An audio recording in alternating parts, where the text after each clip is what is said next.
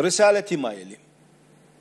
حقيقة كمواطن أكبر وأحيي كتلة دولة القانون النيابي على هذا الموقف. هذا الموقف يحسب للكتلة بأنها لم تجامل أحد نوابها على فعل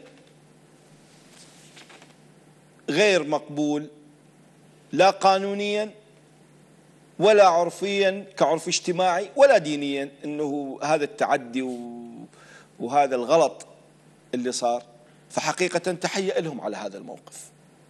تحية لكتلة دولة القانون على هذا الموقف الوطني الذي اتخذته.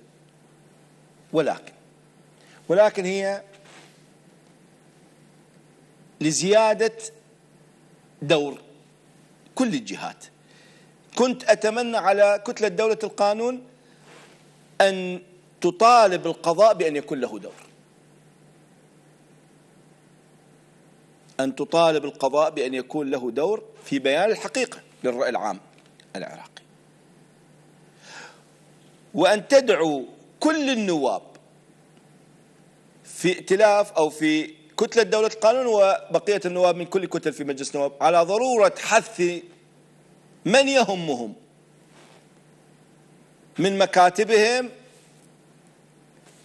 من أتباعهم؟ على احترام القانون.